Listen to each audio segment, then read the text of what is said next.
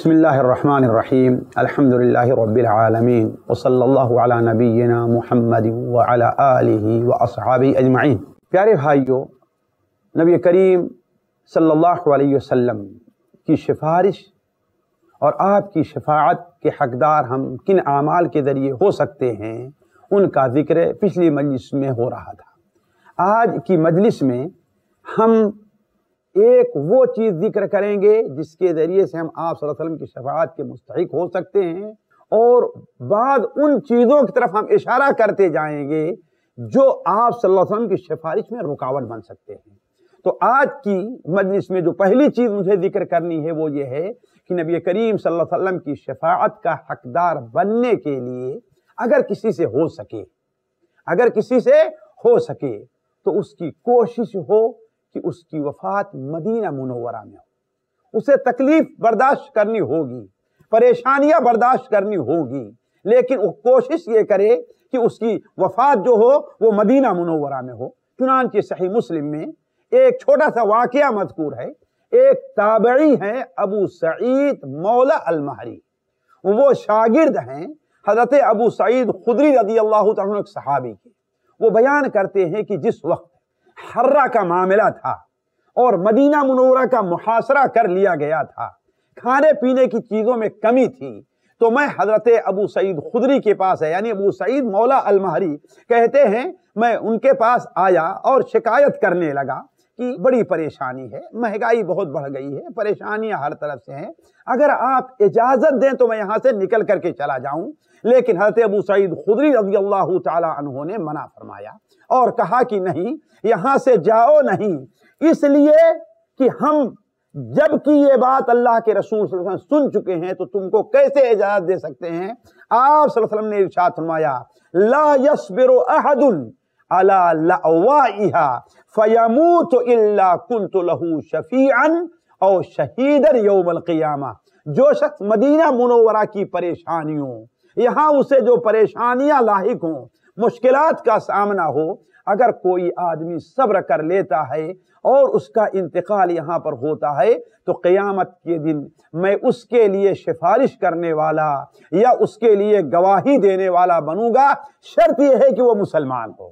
شرط یہ ہے کہ اس کے دل کے اندر ایمان و اسلام پایا جائے۔ اور اس کا انتقال ہو تو میں اس کے لیے سفارش کروں گا۔ اسی طریقے سے وہ حدیث ترمیدی اور مسندحم میں حضرت عبداللہ ابن عمر سے مروی ہے کہ نبی کریم صلی اللہ علیہ وسلم نے ارشاد فرمایا، من استطاع ان يموت فی المدینہ فلیموت جس سے ہو سکے کہ اس کی وفات مدینہ منورہ میں ہو، تو وہ آ کر کے مدینہ منورہ میں مرے، اس کی وفات ہو۔ اس لیے کہ جس شخص کا انتقال مدینہ منورہ میں ہوگا قیامت کے دن میں اس کی سفارش کروں گا۔ اب ہم یہ دیکھتے ہیں کہ آخر وہ کون سے کام ہیں جو سفارش میں رکاوٹ بن سکتے ہیں۔ یہ وہ کام تھے جو سفارش میں مددگار ہوں گے۔ کیا کچھ کام ایسے بھی ہیں جو سفارش میں رکاوٹ بنیں گے؟ تو میرے عزیزوں اور ساتھیوں، سب سے پہلی چیز جو سفارش کے اندر اللہ کے رسول کی شفاعت اور ہمارے درمیان حائل ہونے والی ہے وہ اللہ تبارک و تعالیٰ کے ساتھ شرک ہے۔ وہ سفارش اگر اللہ کے رسول کسی کے لیے کرتے بھی ہے تو وہ قبول نہیں کی جائے گی۔ آپ صلی اللہ علیہ وسلم نے اپنے چچا کے لیے کیا، اللہ نے قبول نہیں کیا۔ حضرت نوح علیہ السلام نے اپنے بیٹے کے لیے کیا لیکن اللہ نے قبول نہیں فرمایا۔ حضرت ابراہیم علیہ السلام نے اپنے باپ کے لیے کیا، لیکن اللہ تعالیٰ نے قبول نہیں فرمایا۔ ان اللہ لا یغفر ان یشرک بہی ویغفر ما دون ذالک لمن یشاء۔ اللہ تبارک و تعالی شرک کو کبھی بھی نہیں بخشے گا، اس کے علاوہ جو دوسرے گناہ ہوں گے، اگر چاہے گا تو بخش دے گا۔ اسی طریقے سے وہ شخص جو شفاعت کا منکر ہے، جس طریقے سے بعض مرجیہ اور معتدلہ وغیرہ کا خیال ہے، اگر وہ لوگ شفاعت کا انکار کرتے ہیں تو اللہ تبارک و تعالی ان کو بھی نبی صلی اللہ علیہ وسلم کی شفاعت نصیب نہیں فرمائے گا۔ چنانچہ امام آجری رحمہ اللہ اپنی کتاب الشریعہ میں اور حافظ بن حجر رحمہ اللہ اپنی کتاب فتح الباری میں حضرت انس بن مالک رضی اللہ تعالیٰ عنہ کا یہ قول بسند صحیح نقل کرتے ہیں کہ من کذب بالشفاعت فلیس له فیہا نصیب۔ جو شخص شفاعت کا منکر ہوگا اسے شفاعت کا کوئی حصہ ملنے والا نہیں ہے۔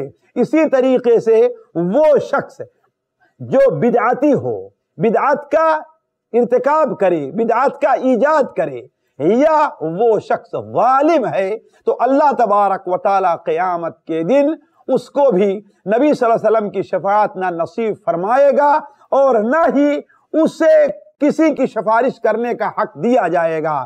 چنانچہ امام تبرانی رحمہ اللہ اپنی کتاب موجم تبرانی کبیر میں حضرت ابو امامہ باہری رضی اللہ تعالیٰ عنہ سے نقل فرماتے ہیں کہ نبی کریم صلی اللہ علیہ وسلم نے ارشاد فرمایا صنفان من امتی، میری امت کے دو قسم کے لوگ وہ ہیں۔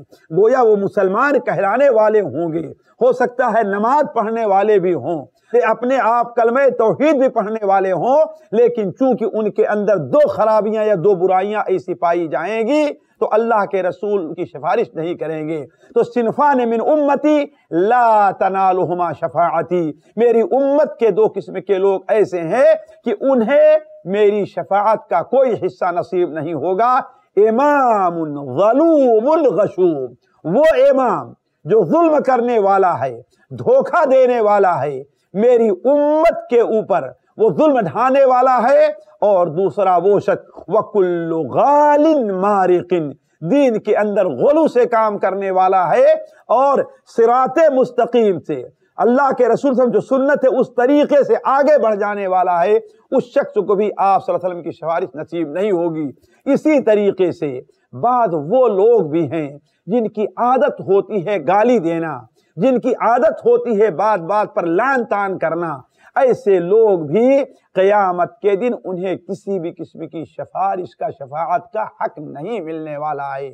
چنانچہ صحیح مسلم کے اندر امام محمد حمبر رحم اللہ کے مسند میں حضرت ابو دردہ رضی اللہ تعالیٰ عنہ سے مروی ہے کہ نبی کریم صلی اللہ علیہ وسلم نے ارشاد فرمایا، ان اللعانین لا یکون شفعاء ولا شہداء یوم القیامہ۔ جو لوگ لان تان کرتے ہیں، سب وہ شتم سے کام لیتے ہیں، لوگوں کو برا بھلا کہتے ہیں، اللہ تبارک و تعالی قیامت کے دن نہ انہیں شہیدوں میں شامل کرے گا اور نہ ہی انہیں شفاعت کرنے والوں میں شامل کرے گا۔ تو یہ وہ لوگ ہیں بدبخت جنہیں شفاعت کا کوئی حصہ ملنے والا نہیں ہے۔ اب ہمیں کا ہر شخص شفاعت کا خواہش مند ہے۔ وہ یہ چاہتا ہے کہ اللہ تعالیٰ نبی صلی اللہ علیہ وسلم کی شفاعت اسے نصیب فرمائے۔ یا وہ یہ چاہتا ہے کہ قیامت کے دن اس کے لیے شفاعت کرنے والی چیزیں یا شفاعت کرنے والے لوگ ہوں۔ تو اب ہم یہ دیکھتے ہیں کہ ہمارے وہ کون سے اعمال ہیں جو قیامت کے دن ہماری سفارش کر سکتے ہیں اور آپ صلی اللہ علیہ وسلم کی سفارش میں اپنی سفارش ملا سکتے ہیں۔ اللہ کے رسول صلی اللہ علیہ وسلم کے متعدد فرامین سے معلوم ہوتا ہے کہ پہلی وہ چیز جو ہمارے لیے سفارش کا کام دے گی اور اللہ کے حضور ہمارے لیے شفاعت کرے گی، وہ اللہ تبارک و تعالیٰ کی کتاب ہے۔ یعنی اس کتاب پر ایمان لانا، اس کتاب پر پڑھنا، اس کتاب میں غور و فکر کرنا، اس کتاب کو حرز جان بنانا، اس کتاب کے مطالعے کا اس کتاب کی تلاوت کا خصوصی اہتمام کرنا یہ ایسی چیز ہے جو ہمارے اور آپ کے لیے قیامت میں سفارش کرے گی۔ چنانچہ امام ابن حبان رحمہ اللہ اپنی کتاب صحیح ابن حبان میں، امام تبرانی رحمہ اللہ اپنی کتاب موجم تبرانی کبیر میں، حضرت جابر ابن عبداللہ اور عبداللہ ابن مسعود سے روایت کرتے ہیں کہ نبی کریم صلی اللہ علیہ وسلم نے ارشاد فرمایا، القرآن شافع و مشفع و ماحل و مصدق۔ قرآن شفاعت کرنے والا ہے اور اللہ تعالیٰ اس کی سفارش قبول بھی فرمائے گا۔ وماحل اور جھگڑا کرنے والا ہے اور اس کی تصدیق بھی کی جائے گی۔ یعنی جو شخص قرآن کا اہتمام کرتا ہے، قرآن اس کے لیے سفارش کرے گا اور جو قرآن کو پڑھتا نہیں ہے قرآن کو جزدان میں رکھ کر کے صرف برکت کے لیے اوپر لٹکا دیا ہے، اپنے گاڑی میں رکھ لیا ہے۔ تو ایسے لوگوں کے خلاف قرآن لڑائی کرے گا اور جو وہ بات کہے گا، اللہ تعالیٰ اس کی بات کی تصدیق بھی کرے گا۔ القرآن شافع و مشفع و ماحل و مصدق۔ لہذا آپ نے آگے کیا بیان فرمایا؟ من جعلہ امامہ قادہ الى الجنہ۔ جس نے قرآن کو اپنے سامنے رکھا یعنی قرآن کو اپنا امام بنا لیا، قرآن کو پڑھتا رہا، اس کی تعلیمات پر عمل کرتا رہا، تو قرآن اسے لے کر کے جنت طرف جائے گا۔ اور جس نے قرآن کو پیچھے ڈالے رکھا، قرآن کو نہ پڑھتا تھا، نہ اس پر عمل کرتا تھا، تو قرآن اسے لے کر کے جہنم میں ڈال دے گا۔ اسی طریقے سے وہ حدیث جو صحیح مسلم شریف میں حضرت ابو اماما سے مروی ہے، کہ نبی کریم صلی اللہ علیہ وسلم نے ارشاد فرمایا اقرأ القرآن، فإنه يأتي يوم القیامت شفیعا لأصحابه۔ تم لوگ قرآن پڑھو، اس لیے کہ قرآن قیامت کے دن اپنے پڑھنے والے کے لیے شفاعت کرنے والا بنے گا۔ اقرأ الزہراوین دو روشن سورتوں کو پڑھو۔ سورہ بقرہ کو آل عمران کو پڑھو۔ اس لیے کہ قیامت کے دن ان صورتوں کا اہتمام کرنے والا آ رہا ہوگا اور یہ ان کے اوپر سے بدلی کے طریقے سے یا چڑیوں کے طریقے سے آ رہی ہوگی اور اللہ تعالیٰ کے پاس جا کر کے اس کی شفاعت کرے گی، تو عرض کرنے کا مقصد قرآن مجید کا اہتمام کرنا اور قرآن مجید کا پڑھنا پڑھانا، قرآن مجید میں تدبر کرنا، قرآن مجید کے مطابق عمل کرنا، یہ بھی ان چیزوں میں ہے جو قیامت دن ہماری آپ کی سفارش کرے گی۔ اسی طریقے سے اللہ تبارک و تعالیٰ کا ذکر عموماً اور باقیات الصالحات کا اہتمام خصوصاً۔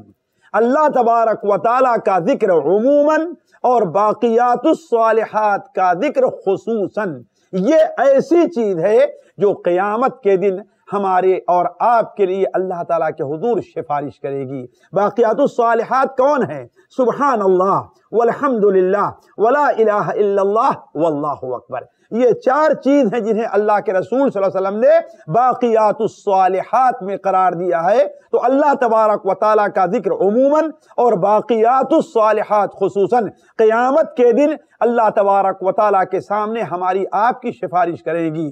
آپ جانتے ہیں کہ حضرت یونس علیہ السلام جب مچھلی کے پیٹ میں گئے، سمندر کی تاریکی، اندھیرا مچھلی کے پیٹ میں، تاریکی کے اوپر تاریکی ہے، لیکن اس تاریکی اور مشکل گھڑی سے اللہ تعالیٰ کے سامنے نجات دلوانے والی چیز کون تھی؟ اللہ تعالیٰ فرماتا ہے کہ من المصبحین اگر وہ میری تسبیح بیان کرنے والے نہ ہوتے، ذرا مقارنہ کریں۔ سمندر سے اللہ تعالیٰ نے حضرت نوح علیہ السلام جو پہلے اللہ کا ذکر کرنے والے تھے، اس سمندر سے اللہ تعالیٰ انہیں تو نجات دے رہا ہے اور فرعون اسی سمندر کے اندر ڈوب رہا ہے۔ کیوں؟ اس لیے کہ وہ پہلے اللہ کا ذکر کرنے والا نہیں تھا، اگرچہ اب اللہ کا ذکر کرنے والا بننا چاہتا ہے۔ تو اللہ تعالیٰ کا ذکر بندے کو کے لیے قیامت دن سفارش کریں گے۔ چنانچہ نبی کریم صلی اللہ علیہ وسلم کی وہ حدیث، جسے امام ابن ماجہ رحمہ اللہ اپنی سنن کے اندر، امام حضرت حنبر رحمہ اللہ اپنی مسند میں حضرت عبداللہ ابن عمر سے نقل کرتے ہیں کہ نبی کریم صلی اللہ علیہ وسلم نے ارشاد فرمایا کہ وہ چیز جس کی ذریعے سے اللہ تعالیٰ کے علمت و جلال کا تم ذکر کرتے ہو، تسبیح ہے، تکبیر ہے یعنی سبحان اللہ ہے، الحمدللہ ہے، اللہ اکبر ہے، یہ کیا ہے؟ یتعاطفن حول العرش، عرش کے ارد گرد یہ منمناتی رہے گی، گھومتی رہے گی، اور جو شخص ان کا اہتمام کرتا ہے وہ قیامت کے دن اس کی سفارش کرے گی۔ تو آپ نے بیان فرمایا، کیا تم نہیں چاہتے ہو کہ تمہارا ذکر اللہ کے پاس کرنے کے لیے کوئی چیز تمہارے پاس ہو؟ یعنی اشارہ تھا کہ ان ذکر کا اہتمام کرو۔ ایک اور حدیث جو نبی کریم صلی اللہ علیہ وسلم سے مروی ہے، جس کے بارے میں آپ نے بیان فرمایا، خذو جنتکم۔ تم لوگ ڈھال لے لو۔ صحابہ نے کہا، اے اللہ کے رسول صلی اللہ علیہ وسلم، کہیں مہم درپیش ہے، کافروں سے مقابلہ ہے۔ آپ نے فرمایا، نہیں خودو جنتکم من النار، جہنم سے ڈھال تیار کر لو۔ اس کے بعد آپ نے کیا بیان فرمایا؟ جہنم سے ڈھال کیا چیز ہے؟ سبحان اللہ، والحمدللہ، ولا الہ الا اللہ، واللہ اکبر، ہن الباقیات الصالحات۔ باقیات الصالحات یہی ہیں۔ اور اس کے بعد آپ نے بیان فرمایا، جب بندہ قیامت کے دن آ رہا ہوگا تو وہ اس کے دائیں بھی ہوں گی، بائیں بھی رہیں گی، اوپر رہیں گی، آگے رہیں گی، یہاں تک کہ اللہ تبارک و تعالیٰ کے پاس عرش تک لے جا کر کے اس کی سفارش کرے گی۔ اسی طریقے سے جو عمل ہمارا اللہ تعالیٰ کے حضور سفارش کرنے والا ہے، ان میں سے ایک عمل روزہ رکھنا ہے۔ خاص طور پر نفلی روزہ۔ بکثرت بکثرت روزہ رکھنے کا ہم اہتمام کریں۔ آج یہ ایسی سنت ہے جو آج مسلمانوں کے اندر سے تقریباً نکلتی ہوئی نظر آ رہی ہے۔ خال خال کہیں لوگ نظر آتے ہیں جو نفلی روزے کا اہتمام کرتے ہیں۔ حالانکہ نفلی روزہ اللہ تعالیٰ کے نزدیک بڑا محبوب ہے، بڑا پسندیدہ ہے۔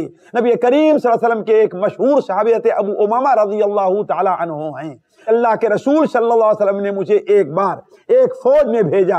ہم نے کہا، اے اللہ کے رسول دعا کیجیے کہ میں شہید ہو جاؤں۔ آپ نے فرمایا سلم ہوں وغنم ہوں اے اللہ تعالیٰ، انہیں صحیح سلامت اور مال غنیمت دے کر کے واپس آ۔ پھر دوبارہ آپ نے ایک فوج بھیجا جس میں میرا نام لکھا گیا۔ اس میں بھی ہم نے دعا کی کہ اللہ کے رسول صلی اللہ علیہ وسلم، مجھے شہادت نصیب ہو جائے، لیکن آپ کی پھر وہی دعا تھی، اللہم سلم ہم وغنم ہم تو پہلی طرح سے ہم بھی صحیح سلامت اور مال غنیمت لے کر کے آئے۔ ایسے آپ سے ہم نے تین بار درخواست کی، لیکن نبی صلی اللہ علیہ وسلم ہر بار یہ فرماتے رہے، اللہم سلم ہم ہم اے اللہ تعالیٰ، اسے صحیح سلامت واپس لے کر کے آ۔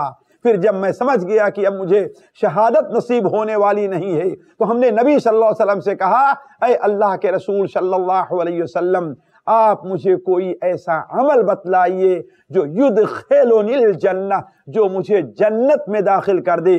تو آپ نے فرمایا علیک بالصوم علیک بالصوم فإنہو لا عدل لہ۔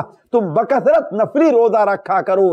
اس لیے کہ نفلی روزے کا مقابلہ کوئی دوسرا عمل نہیں کر سکتا۔ تو کہنے کا مطلب یہ ہے کہ نفلی روزہ قیامت کے دن ہماری سفارش کرے گا۔ جیسا کہ مسرد احمد کے اندر حضرت عبداللہ ابن عمر رضی اللہ تعالیٰ عنہما کی روایت ہے کہ آپ صلی اللہ علیہ وسلم نے ارشاد فرمایا، الصیام والقرآن یشفعان للعبد یوم القیامہ۔ روزہ اور قرآن قیامت کے دن بندوں کی سفارش کریں گے۔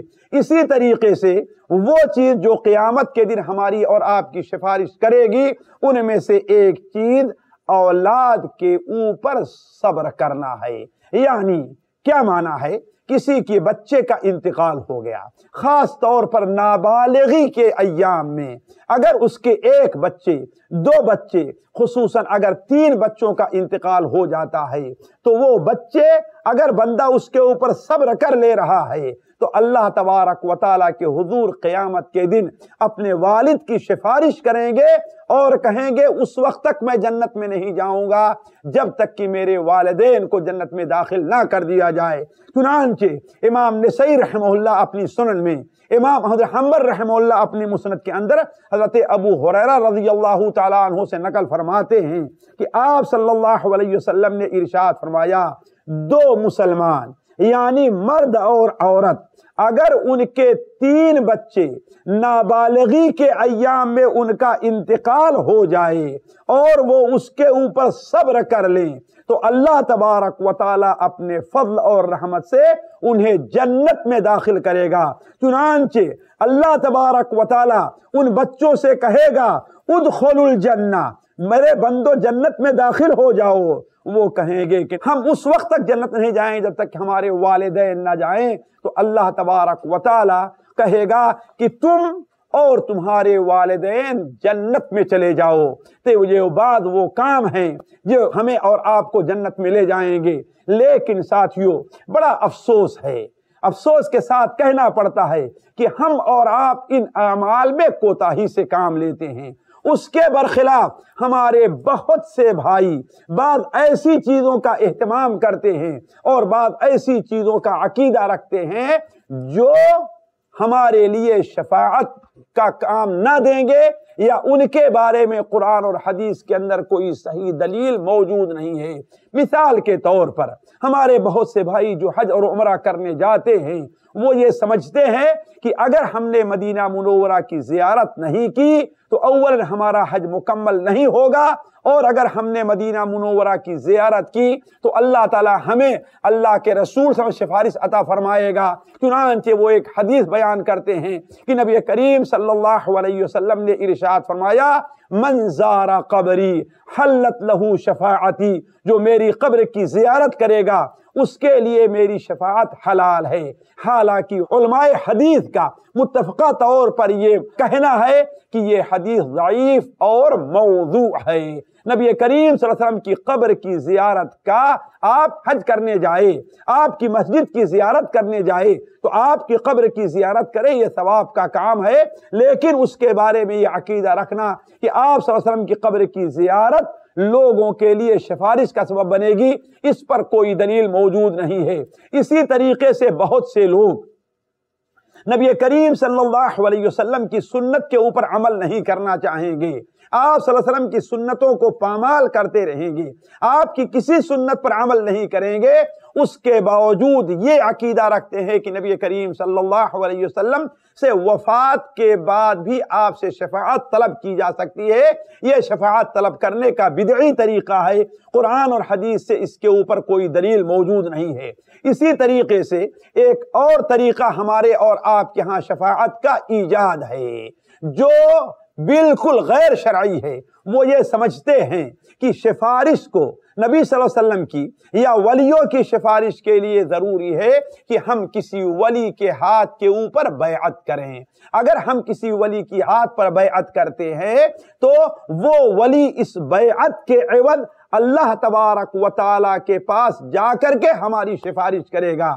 حتیٰ کہ یہ عقیدہ غلط رکھ کر کے لوگ بسا اوقات نماز نہیں پڑھتے ہیں، روزہ نہیں رکھتے ہیں، حج نہیں کرتے ہیں، لیکن یہ عقیدہ رکھ کر کے یہ سمجھتے ہیں کہ اگر ہم نے بیعت کر لیا اور ان کی تھوڑی سی خدمت کر لی اور ان کے ساتھ تھوڑا سا تعلق جما لیا تو اللہ تعالیٰ کے پاس وہ ہماری سفارش کریں گے۔ اگرچہ ہم ہر قسم کا گناہ کرتے ہیں، لیکن یہ بات ہمیشہ ذہن میں رہنی چاہیے کہ سفارش کے لیے اولن تو صحیح عقیدہ ہونے کی ضرورت ہے اور دوسری چیز جو سفارش چاہتا ہے، اس کے اندر کچھ ایسا جوہر پایا جانا چاہیے۔ اسی لیے حضرت ربیع ابن کعب رضی اللہ تعالی عنہ نے جب اللہ کے رسول صلی اللہ علیہ وسلم سے یہ طلب کیا کہ میں جنت میں آپ کی مرافقت اور جنت میں آپ کی صحبت چاہتا ہوں، تو نبی کریم صلی اللہ علیہ وسلم نے ان سے یہ فرمایا تھا کہ میں تمہاری سفارش کروں گا، ضرور کروں گا، لیکن اعنی علی نفسی کا بے السجود۔ تم کثرت سے نفلی نماز پڑھو۔ اس طریقے سے اگر تم نفلی نماز پڑھو گے تو اللہ تبارک و تعالی سے امید ہے کہ اللہ تبارک تمہارے بارے میں میری سفارش قبول کرے گا۔ تو کہنے کا مطلب آخرت سے متعلق جن چیزوں پر ایمان لانا ضروری ہے، ان میں سے ایک چیز وہ ہے کہ آپ صلی اللہ علیہ وسلم کی شفاعت کا عقیدہ رکھا جائے۔ تو اس دن آپ صلی اللہ علیہ وسلم بھی شفاعت کریں گے، انبیاء بھی شفاعت کریں گے، اولیاء بھی شفاعت کریں گے، فرشتے بھی شفاعت کریں گے، مؤمنین بھی شفاعت کریں گے۔ اللہ تبارک و تعالیٰ سے دعا ہے کہ اللہ تبارک و تعالیٰ ہمیں ہر ایسے عمل کی توفیق عطا فرمائے جو ہمیں نبی کریم صلی اللہ علیہ وسلم کی شفاعت کا مستحق ٹھہرائیں اور ہر ایسے عمل سے دور رکھے جو ہمیں نبی کریم صلی اللہ علیہ وسلم کی شفاعت سے محروم کریں۔ یہاں تک کا مرحلہ جو ہے وہ حشر کا مرحلہ ہے، جو حشر میں پیش آنے والا مرحلہ ہے۔ اس کے بعد کا اب مرحلہ رہ جاتا ہے آخرت پر ایمان لانے میں جو چیزیں داخل ہیں وہ چوتھی چیز یعنی جنت اور جہنم، جو اگلی مجلسوں کا حصہ ہے۔ تب تک کے لیے آپ سے اجازت چاہتے ہیں۔ والسلام علیکم ورحمۃ اللہ وبرکاتہ۔